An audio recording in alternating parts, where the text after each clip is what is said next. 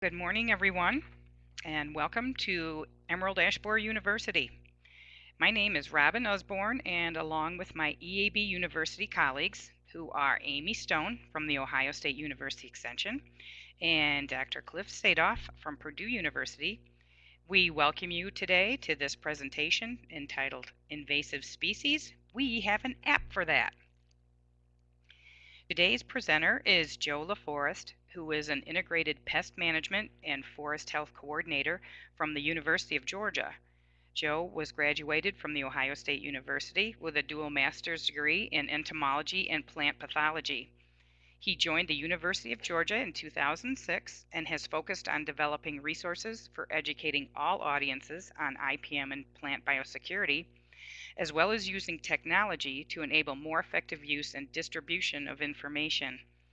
He also serves as co-director for the Southern IPM Center and coordinates the facilitation of innovation through technology, or FIT, initiative to encourage communication between IPM and plant biosecurity systems. Just before we get started, I wanted to remind you that your comments and questions are welcome today. Please feel free to write them in the chat pod on the left of your screen.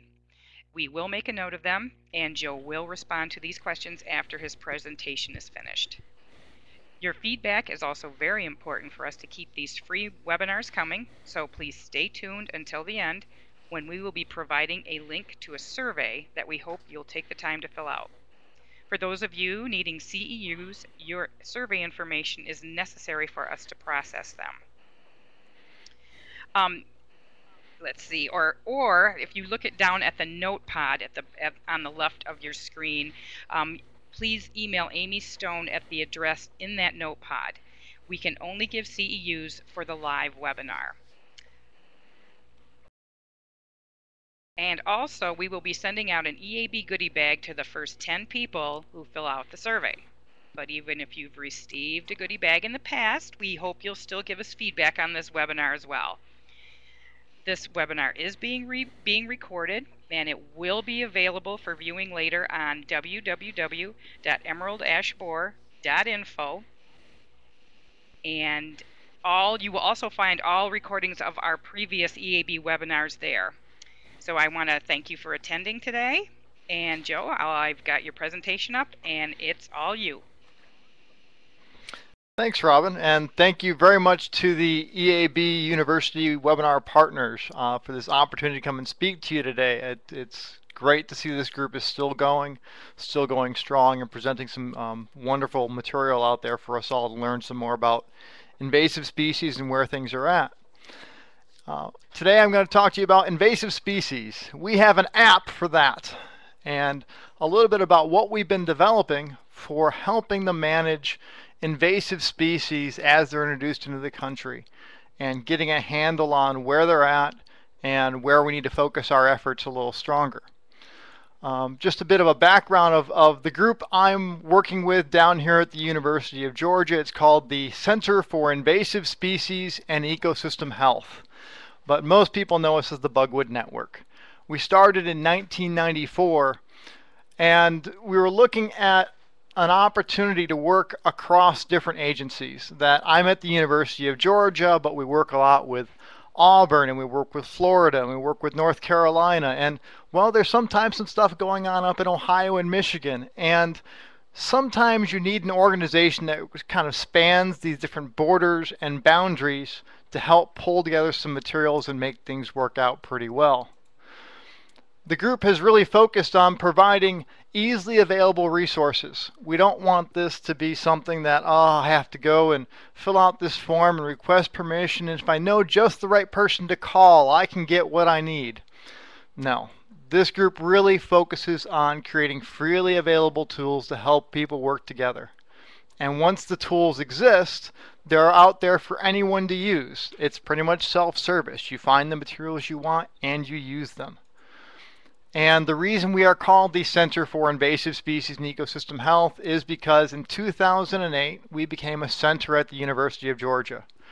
This means that even after uh, Dr. Douce and Dr. Moorhead, who founded the system, retire, um, I will still have a job. We will still exist. and our programs can keep going on as a university center. The project I'm going to talk to you today, because we have many different projects projects out there in terms of images and presentations and other things, is EDDMapS, the Early Detection and Distribution Mapping System, um, which we set up as a common operating platform for pest invasive species information. We noticed that in many cases, people weren't necessarily talking between institutions, between states, between agencies about where invasive species were at. Um, we started a lot with uh, the Everglades, what was going on with cooperative areas down in Florida, and also working on invasive plants. And it really was was to us sometimes shocking how there was a disconnect between folks that are in the same area. And so if there was some common platform that all these people could participate in, we could facilitate the sharing of information so that everyone's on the same page, everyone has the same information to work off of, and we can do a much better job of knowing where things are at and responding to them. So with EDDMapS, we really do have a national or even international focus, trying to work through existing organizations and network. The system is not meant to be a replacement for anybody. It's meant to work alongside existing systems because systems that have been developed on the local level work extremely well for those local groups. And it's just a connection up to the larger picture that really helps them out. It seeks to aggregate data from other systems so that the distribution data that already exists, that's already in different systems and different locations, can come together at their different scales and resolutions to have a more complete picture of where things are at. People often ask, you know, uh, there's so many different programs out there for doing mapping and where stuff's at. How does how is EDDMapS any different from these other programs that are there? This last point of aggregating data, not replacing other systems, really is the key factor that makes us different. We're not trying to replace anyone's system. We're providing a common place for people to come together. And it just so happens that in order to accommodate a lot of different folks who didn't have the IT resources, we have built tools to allow for reporting.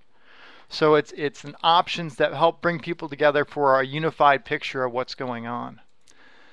And so far, this has actually been a pretty popular concept. Here you can see in green different states and provinces that have, have at least some partners in there that are working with us on collecting invasive species data, to know where things are at on a much larger scale. So this is a nice grand overview of what we've been looking at, but it doesn't necessarily tell you all of what we're doing. What we found is that for every tool, uh, there's a tool for every job. And we're viewing EDDMapS really as a toolbox for different applications and different sections that meet the needs of different audiences. If I don't have an audience that wants to use the tool, there's not really a whole lot of me producing that. So we have a variety of different tools that are currently in our toolbox, from early detection, allowing reports to come in as people are finding things to delineate where a population's at. The verification of those reports so that we have more information and actually ground truth that data to know what was actually there alerts so that people who are interested in what's going on can receive automatic notifications when new verified data comes in. And then having all this data in a pot's nice, but if we can get a picture of it, if we can see it on a map, so we can see where things are filling in, these visualizations pull off all of that data that's been available. And then unfortunately, in many cases, invasive species do get established and they slip out of the early detection, is this going to establish mode into, well, now we're on to monitoring, monitoring and providing management for it. And with all these tools together, you're getting a whole lot of data coming in. The next part is data sharing and collaboration, how we pull in all of our partners so everyone can access the data. It's not kept in a silo that no one ever can access. It's freely available for people to use. So with this, I'm going to go through the different tools that you see here on the screen, give you a little taste of each of them, and talk a little bit about the development that we've gone through to get to this point. So first I'm going to go through our early detection tools that for many of you may have come across the Mid-Atlantic Early Detection Network or uh, up in Ohio and Michigan, the Great Lakes Early Detection Network. Um, if you Google Maiden or you Google EDDMapS, E-double-D maps, you'll find our website. These sites were some of the initial things we created because we figured, all right, we started this back in 2004 with people reporting things in. Let's let's provide them a simple way. A lot of people can get on the web and they can report different species. So through this website, I can go to report a sighting, choosing my state that I'm interested in, and then choosing what type of, of thing I'm going to report. This helps narrow down some of the options and customize the forms that you're going to see here in just a second. So when I go to report an invasive plant, I've got my options of, okay, what species am I looking at? What's some information about the infestation, the infested area, what habitat it's in? We can be fairly detailed about what information we're asking for in this case.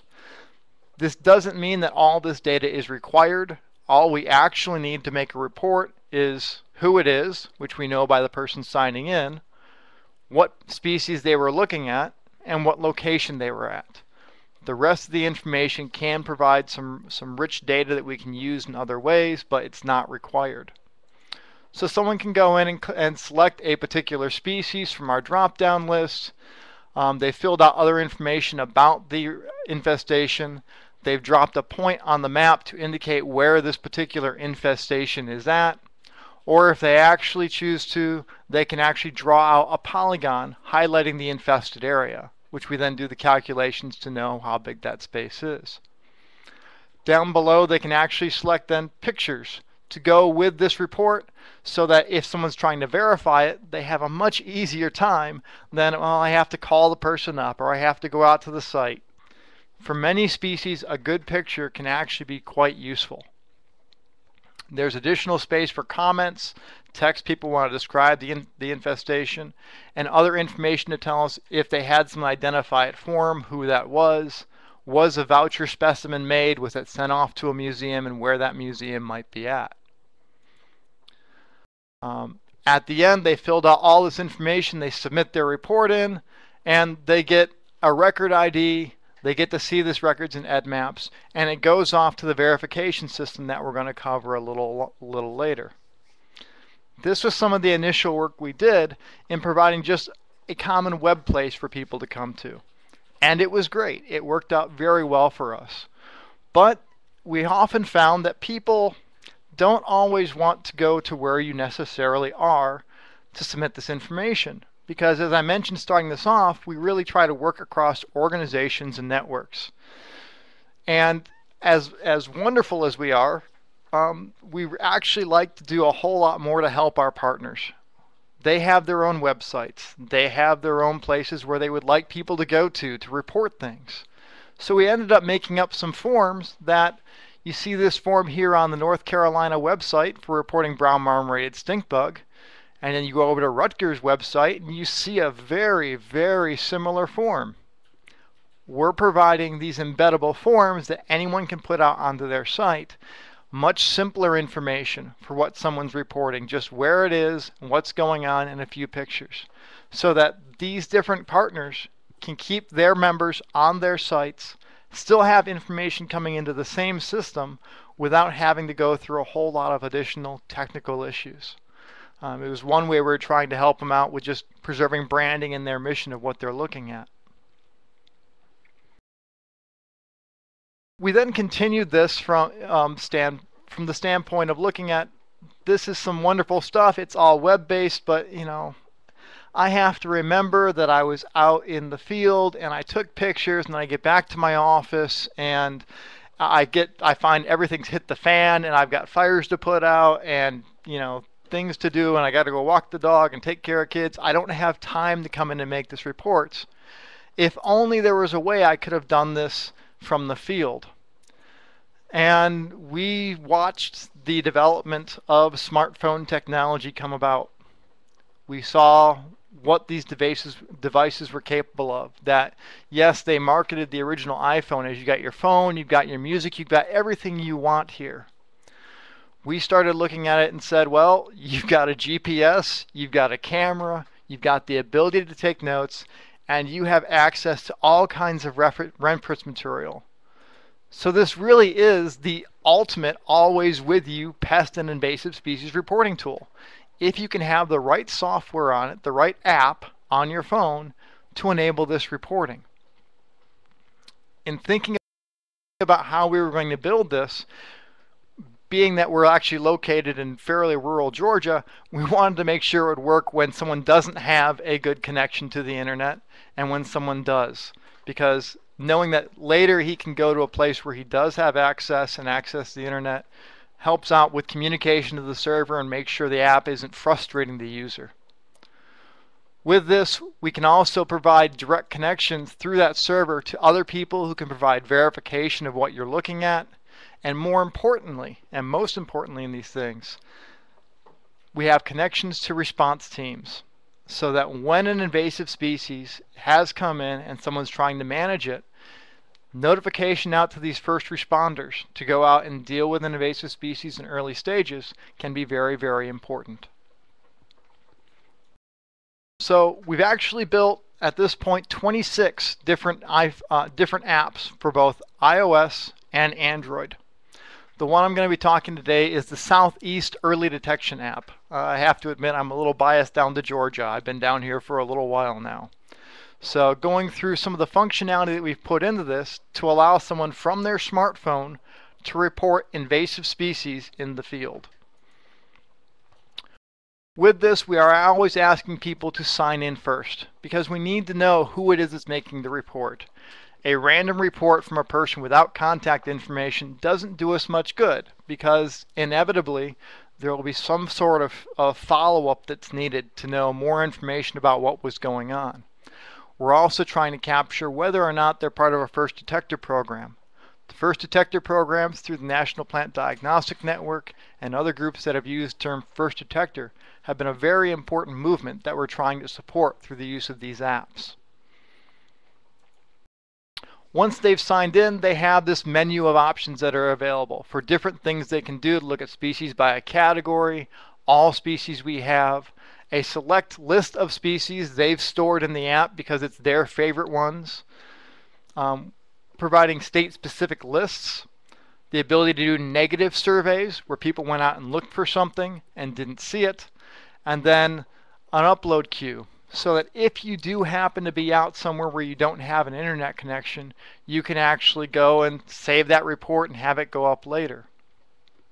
The basic functionality we built into it, if you're going in by a category, you're picking what category you're looking at, picking a species on the right, and if you're not quite sure if that's what it is, well, here's a brief description of it and here's a selection of pictures you can flip through we find that a good set of pictures can go a long way to help reducing the number of, uh, of false reports that we get from different individuals and helps reduce the workload that our verifiers have to go through. If I want to, I can look at the map. This is actually showing point reports. These are only the verified point reports, and it's also only the ones where the points have actually been released for people to know about. There are plenty of times that we have people report a pest, and well, Farmer Bob really doesn't want you saying that pest is in the middle of his field.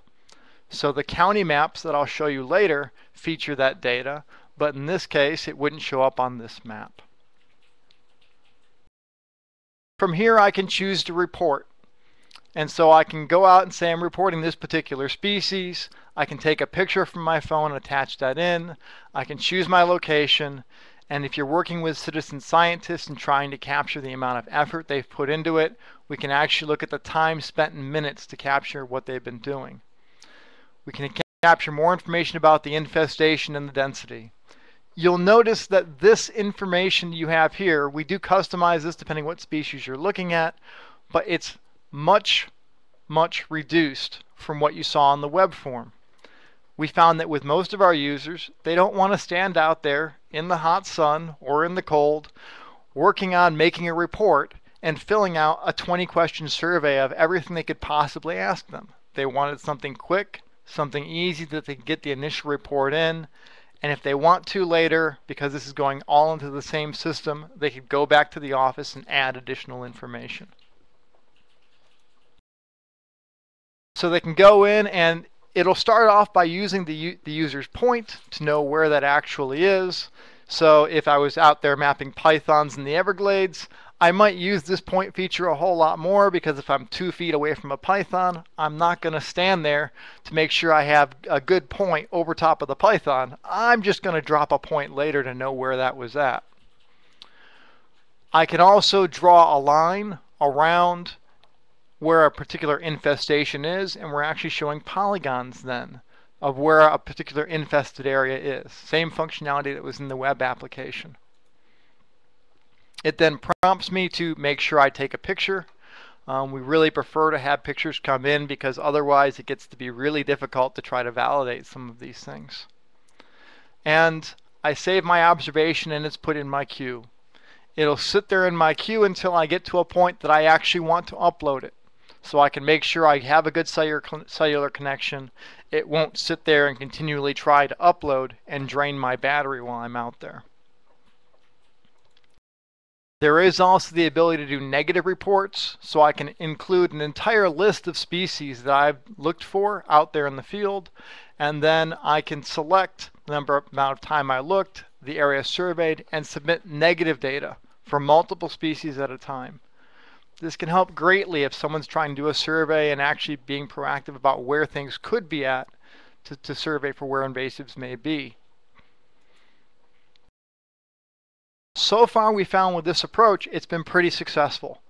We continue to get additional reports. This, this graphic is actually um, old. We do not have the tail end of 2014 in here, but we are getting a significant number of reports coming in through the system and being processed. We continue to talk with other people to find out more of how they're using the system and ways we can work with this better. We've also done quite a bit with getting in bulk data from a variety of partners. That's actually helped the system grow to the size it is today. We currently have 2.6 million occurrence records in the system with 1.7 million point records, covering about 4,665 species. We get multiple submissions per day and the system hums along making sure we get verification to know where things are at. I mentioned at the beginning, and it's a recurring theme throughout. Partners are what make us successful. There is no way that one institution, that one group can do all this work. It requires people on the ground, it requires in person training, it requires people to really know what's going on and be able to work better with the local communities to know what we have. In that effort, we've made several of our apps themed to a particular location.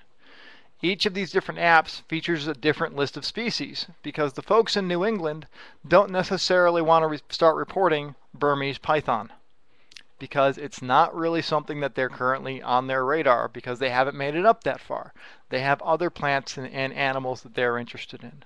So each of these lists ends up getting customized based on what the group we're working with, what the people in that area really want to have, and what they want to be able to report. The great thing about the system is if you need a species added, if we have images, a description, and a list of contacts that will act as verifiers, we can add a species in a matter of days to weeks rather than having to build an entirely new app for an entirely new species that comes in, deal with development, deal with the additional costs. We're actually doing this pretty much for free. People say that, hey, can we have this species reported through this app in this area? Sure. Who's going to be responsible for it? What issues do we have to take care of for verification? And it's very simple to get this in. So the big elephant in the room, all this data is coming in. You're verifying that, right? Yes we are we have a verification process in place so that the people who are familiar with this stuff can get the reports, can look at the data that's been submitted and work with it. When a new report comes in, we immediately break it off into two sections. You have your things that are regulated, that states and federal agencies are going to definitely want to know what's going on with that data. the unverified report is not available to the general public, cannot be downloaded, cannot be viewed by anyone who does not have the proper authority to. The information comes into the system, these folks are notified, or their designee is notified, depending on if there's a, a, task force dealing with a certain species, and they handle the report. They handle verification, and if the report goes in and is never verified, it is at least been sent to them through one common channel and they don't have to worry about it. We do try to follow up with them periodically to make sure reports are moving through for non-regulated species, for dandelions, for kudzu bug, for many other things that come in through the system, we have either a, a verifier for a particular species, a verifier based on a location, a state, or a county, or we have something based on a project that someone is getting this information, someone does have the ability to look at it and determine whether or not this is actually a credible report. In the case that we don't have any information for any of the above categories, for some reason we haven't had it come through a verifier, we do have an option where there is no verifier currently listed in our lookup. And that goes to the EDDMapS administrator, which is usually Chuck Bargeron, myself, or Rebecca Wallace. This ensures that at least someone sees the report. So depending what it is, we'll go hunt someone down, work with them, as not only to get the report verified, but also work with them to build out the verifier network. The more people that are involved in it, and the, the broader we can build it, the better it will be. This is a nice diagram and looks pretty, but what most people ask is, okay, so who, who is the verifier for a given state? What's going on here? We've actually made a new tool. We want our system to be transparent. We don't want there to be any surprises anywhere along the line. You go into this tool, select your species. You drop a point on the map. It gives you information then about who will receive the verification email. Is this currently a regulated species? Has it previously been reported in the state or in the county? And what apps are currently allowing reporting of this? Also, if it's an invasive species, who's been listing it as an invasive species? This information can help provide a, nice transparent view of what's going on, who's interested in it, and hopefully build some relationships between programs that may not always be talking. Um, these tools are available for people to look at and we're constantly revising it as new groups come on board and we realize that there's holes in the, in the notification network. When a verifier report comes in, they get an email very similar to this, ask them to review the record online, where you've got the basic information about it. And if the person provided pictures for it, here are the pictures. Um, for kudzu bug, which we've been dealing with quite a bit, I'm amazed how photogenic that critter is. People can take some blurry, really kind of junky photos, and you can still tell just because of the the rear of the insect that it's kudzu bug. If I were to go online to review this, I then get the full information for this particular record. And at the bottom, I'm asked who reviewed it, how did they verify it, who actually did the identification and the date, how credible is that verification? Is it based off of, well, kudzu bug, yeah, it's been found around the Atlanta area. We have many other reports coming around that section, so it's credible that your report is actually what it is. Or, nope, I have photographs, and that's how I verified it. With this, we actually have whether or not it's reviewed or verified, whether or not we should show this record in EDDMapS, whether the public should be able to see it, and whether or not the latitude and longitude should actually be displayed on any map. There are cases where people do not want to show that data in EDDMapS yet because it's a new regulated species or there's something else going on with it. They want to make sure they have their outreach effort in place before they release that information. That information will stay private in the system until it's actually released. We want to make sure that no one is caught unawares when data is sent out. This brings us to the next part that we've gone through the early detection, we've gone through the verification part of it, now alerts. That as wonderful as our sites are, and as wonderful as our partner sites are, no one wants to go to that site every single day looking at the map and hoping that someone reported something and knowing that they, they now see a new report. Any user can go in through My EDDMapS once they have an account, go to their alerts, and create alerts for themselves for a particular species, group of species, for a particular area. When there is new verified data, they will receive an email in the morning telling them there's new data and actually giving them links to the records so they can look at it and just be aware of what's going on. Fairly simple and straightforward feature, but something that we felt many of our users wanted in order to be kept uh, up to date on, on what's going on. Now we get into the part of visualizing data.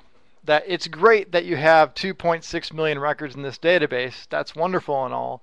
But, you know, to tell to hear that it's in this county and that county and another county doesn't really do it for me. I really need to be able to see this in maps.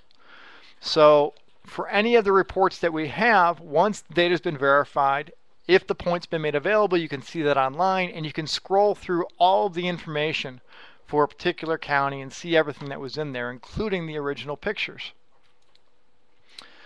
We also have visualizations on maps, and I mentioned before that in some cases we don't show a particular point on the map. The county level maps help cover that. It helps kind of obfuscate the data to know that yes, it was reported in that county, but the exact point, eh, we're not going to tell you that.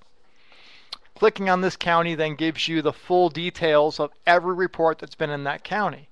So if you see a county lit up and you're kind of wondering, well, you say it's up there, is that real? Well, who are the people that verified that data? What was the source of that data? Where did it come from? We also have some different abilities on these maps at the top that I could download this particular map which gives me a JPEG dated so you know the time it was generated and then this can be used in other places to help make people aware of what's going on.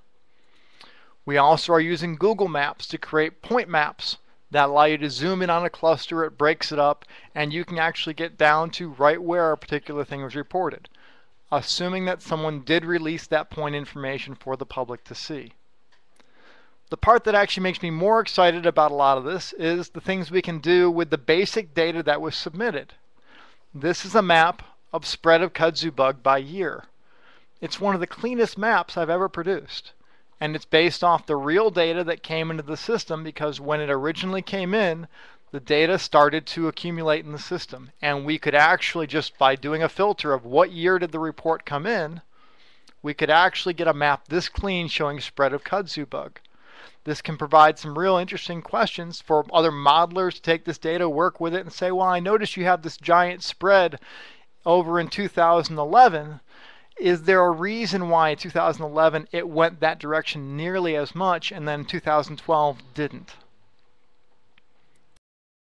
We can also use this with whatever data is being sent in. That the report forms we have actually have some customization that you can do density, you can have trap counts, you can have different things.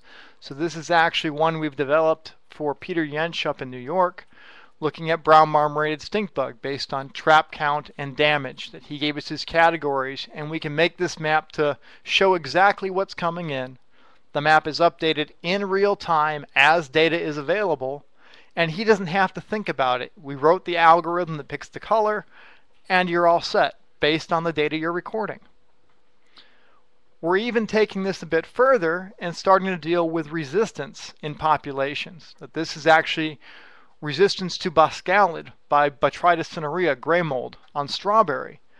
We're able to take in different screening data that people have done, put that in the system. It's then available for anyone to use, and it's very simple to generate these maps showing low, medium, and high resistance risk based on what data is being re retrieved. Again, these maps are, are wonderful, they're great and they are on our websites, but you know, really, I don't necessarily want to come to kudzubug.org every time, or I don't want to send my clientele always to kudzubug.org. Maybe I want to put this on my site. So on top of it, we have a share button you immediately get the information to embed this map as a dynamic piece of content that will update as information comes in. So I can then have this out on the UGA extension site. All information is kept up to date, it's all synchronized, and it's all in real time. Once data has been validated, it comes in and can be shown.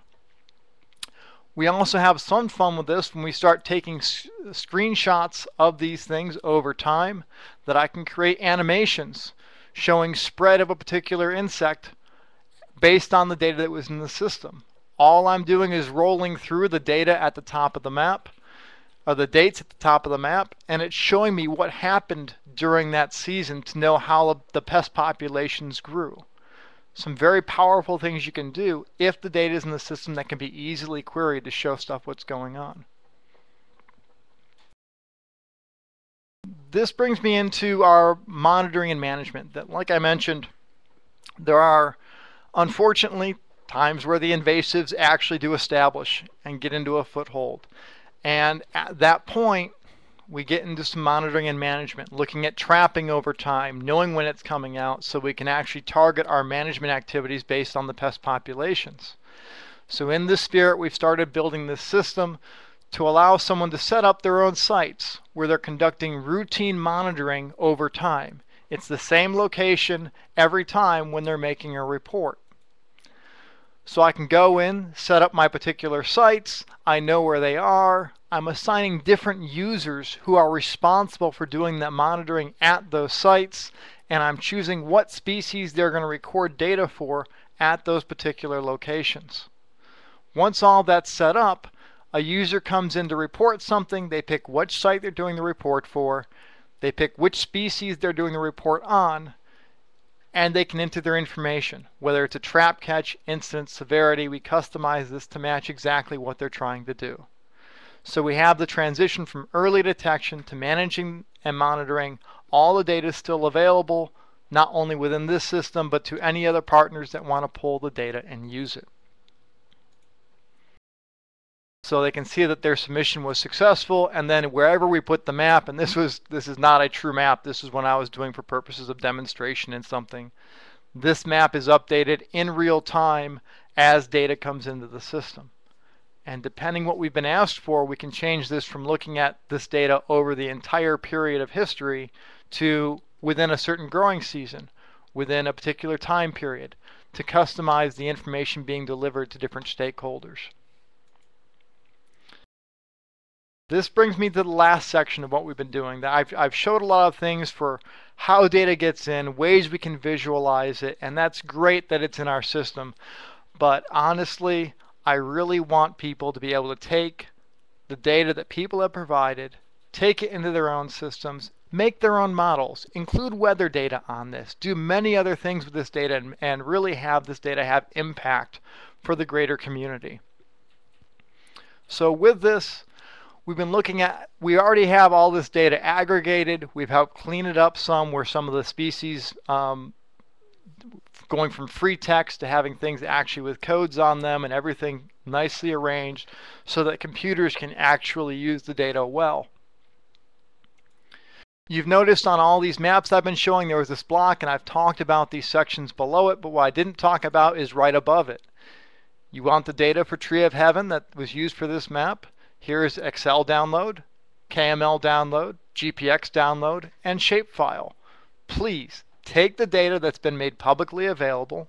It does not contain the confidential pieces of information in it. Take this data and use it. We want people to use this in other applications. Um, we also have some additional ability through how the, the tools have worked to go in and look by species to pick up all the records that are currently available for something. Or if you want something a little more custom, go through and do an advanced query based on a species and a location and an observation date to pull out only the data you really want to be dealing with.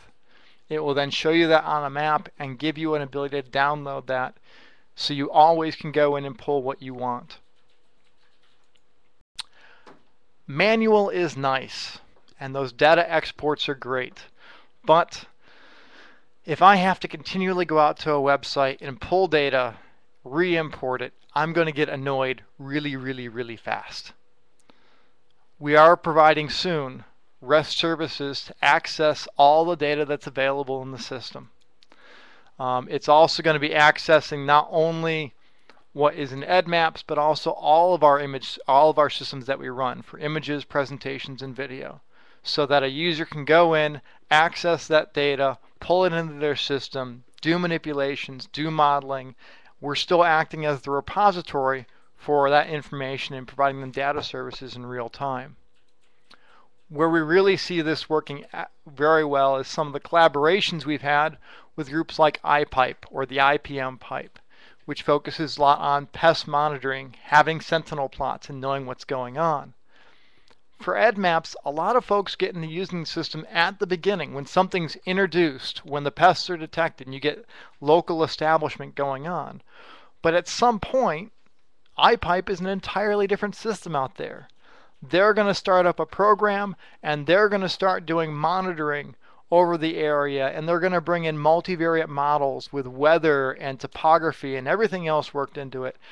They need to be able to not only pull the initial data that came in from the initial surveys and delineation that went on, but then as things go on, continue to pull that data so everything's kept in sync. And hopefully, if they're being a good partner, returning data back into it so everyone has access to the information.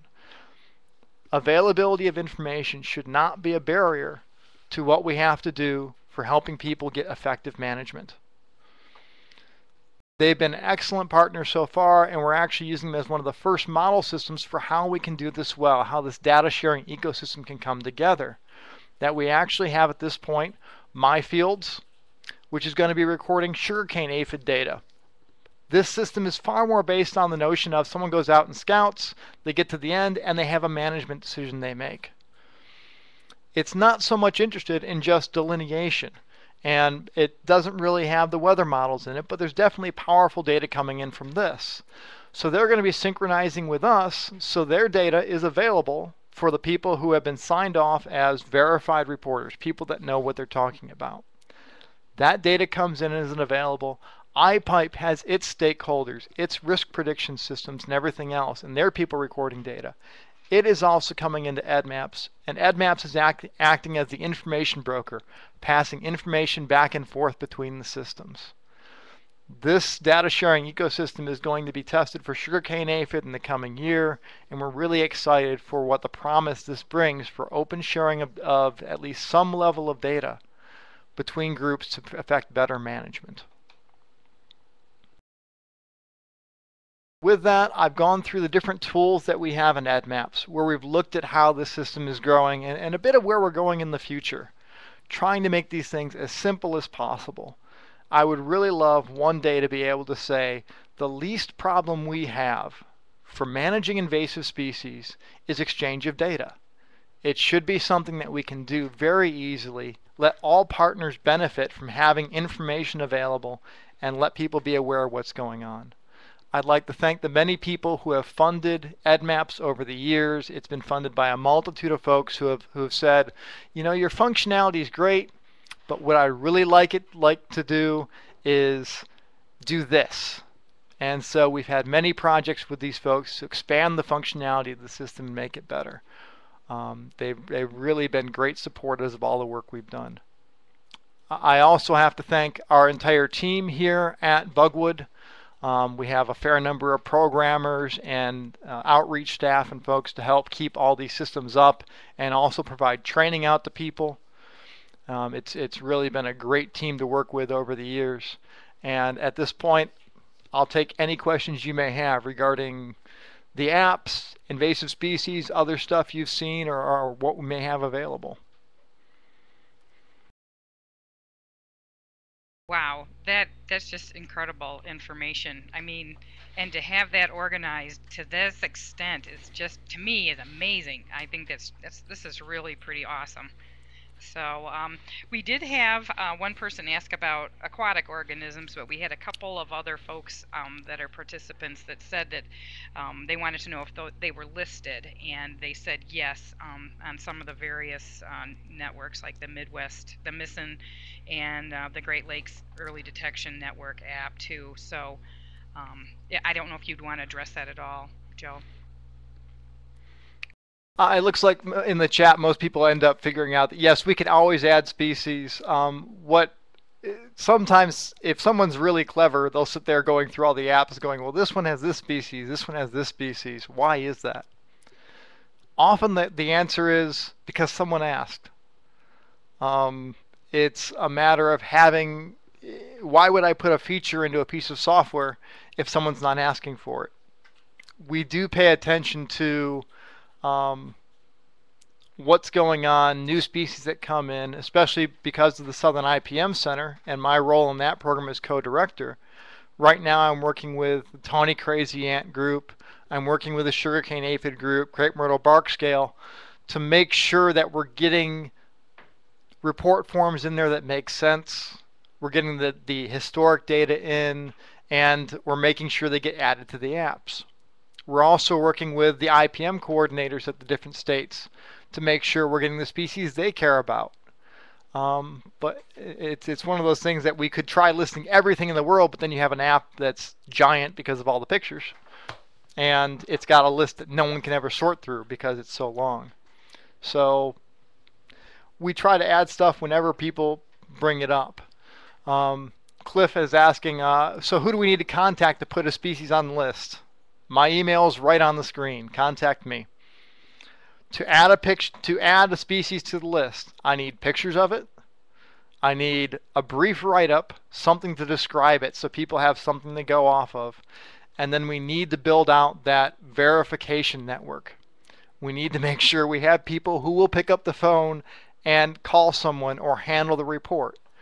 Um, sometimes that's the person who has the identification expertise. Sometimes it's the person who just is willing to be the triage, who's willing to be the filter for, I, I think I've got, you know, the creeping crud coming. No, that's a cockroach. No, no, that's a burrower bug. Someone to filter out that stuff and then work with everyone else. Um, verifiers are extremely important to how it works. Cliff also asked then, what critical information do you need to assure local verifications? Um, it depends on the species. If we're talking about uh, kudzu bug, a fuzzy picture is usually pretty darn good for actually getting me what, what we need to know what it is. Um, of course, I'd love a clear picture if they could actually take one. For something like Tawny Crazy Ant, technically speaking, you have to have a winged male to properly identify that thing all the way down and be absolutely sure. The folks with that Tawny Crazy Ant group are going by a bit of a different standard. They're figuring that out actually today. They have a meeting going on right now in New Orleans for what they're going to consider for that verification. Um, for some things, it may require a site visit. It really depends on, on each situation and what they've sent in if I were to give advice to people about what you should do, make sure you try to include a picture of the actual thing if you can find it and any damage it's done. For diseases, this becomes a whole nother issue. Um, we do have plans to expand this out so that someone could select a given species like rose rosette disease they would then see that they have the ability to send a sample somewhere because we list in our system where a sample could be set where there's testing. The reason I bring up rose rosette disease is because there's a project looking directly at that. So what we'd like to do is actually provide, when they go back to the computer, here is your packing slip, here is a QR code and a website. Put that together into the uh, package, send it off using the packing slip, and actually have it sent off for verification. It depends uh, where you're going uh, and, and what species is as to where that's going to end up. I see a note from Barbara Phillips. She's getting an unsupported URL error when trying to register an account using the app. Um, Barbara, I will get up with you and give you some customer support to make sure that we get that resolved. Um, we do a lot of testing on our apps. Um, I'm always amazed at, at where a glitch can pop up. Um, if it can go wrong, it will go wrong. And we try to get down that as fast as possible.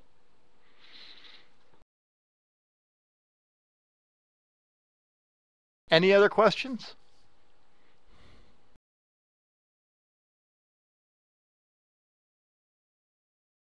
I have a question. Is there How any did it- cross? Oh, I'm sorry. Go ahead. Oh. Go ahead. Go Uh. Cliff Sadof asks, is any is there any crosstalk with local diagnostic labs via NPDN?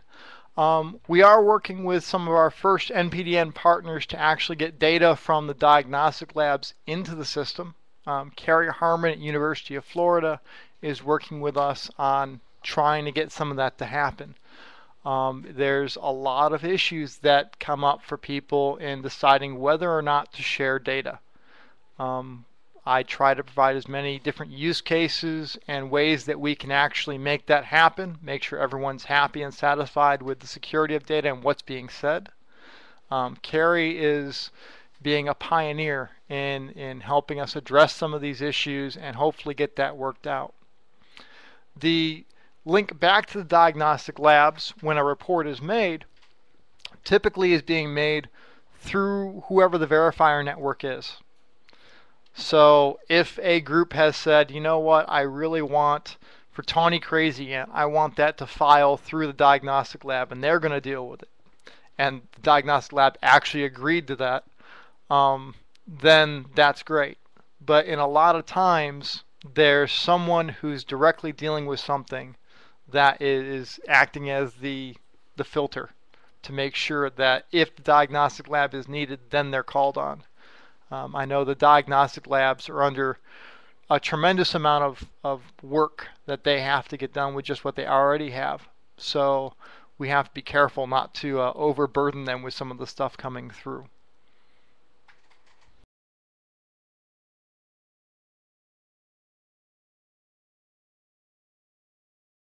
Joe, what do you see down the pike for this as far as uh, what kind of ways are you getting um, this information out to folks so they know that this this is available? So the different ways we've been trying to get this information out to folks um, through the facilitation of innovation through technology, the FIT thing through the Southern IPM Center. I've been talking a lot with all the IPM coordinators at the different states.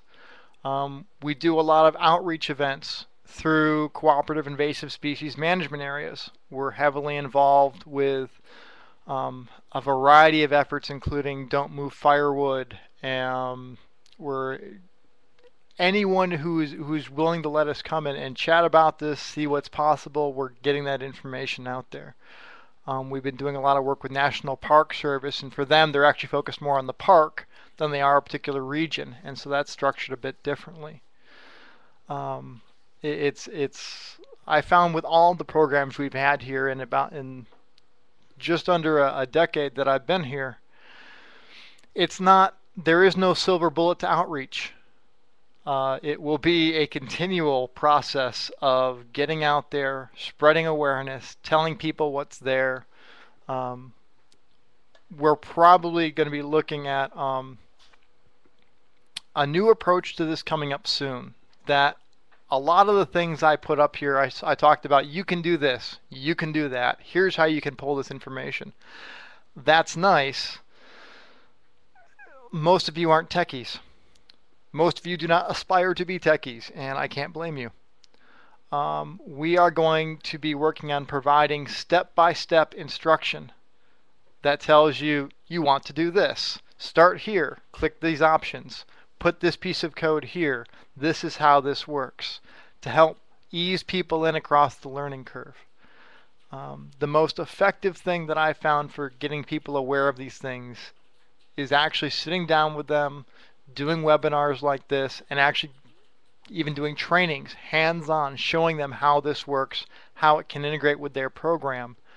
and not replace what they're doing, but act as one tool in their toolbox to make them make it a little more effective and a little less uh, dreary dealing with some of the data that can be in there.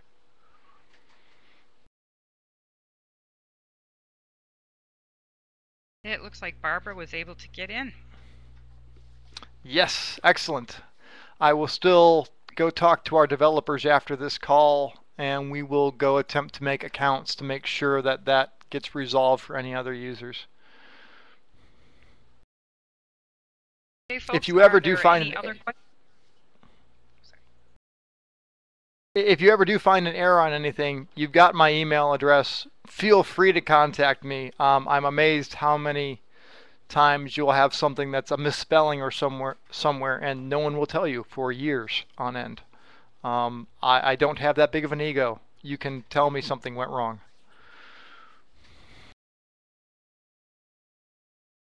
Uh, and I hear you too about trying to find ways to do outreach that that get to the audience that you're looking for, and to you know have them, you know, respond and and integrate what what you're trying to give them into what they're doing. So I know it's it's a constant it's a constant uh, progress, uh, you know, work in progress.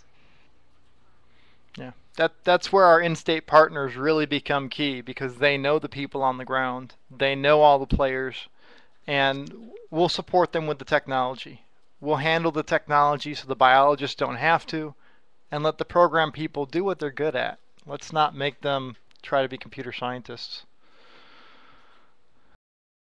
All right, this is great. And folks, um, I would hope that uh, in whatever capacity that you are involved in something that would be able to use these apps, I hope you would, uh, you know, direct your um, your folks to this information so that they can also uh, use it and um, you know integrate it into whatever you're doing. This is, like I say, this webinar is being recorded. It will be available online here in the next couple of days on www.emerald-bohr.info. So, and you are free to use that recorded information as you see fit. If you even want to use it as part of a presentation and, and bring that up and and uh, show them the recorded webinar, you can do that. So, um, with that, I want to thank you very much, Joe. This was just fascinating. It's uh, it's great that this is out there. I, as a person who's been a communications person for 30 years, this is like, wow, I, I can understand the amount of work that's gone into this. So it's been wonderful for you to be able to share this with us. I really appreciate it. No problem. I, I appreciate the opportunity. Alrighty, we've got a couple more minutes, folks. Um, about uh, I will close the meeting at noon, so please, um, I would appreciate it if you would access the survey that we've got online here and just a few questions on that survey. That way we can um, know how you, uh, you know, may be able to work with us and um, also give us some feedback on what you might like to see again on one of these other webinars. So thank you very much, everyone, for attending, and thank you, Joe.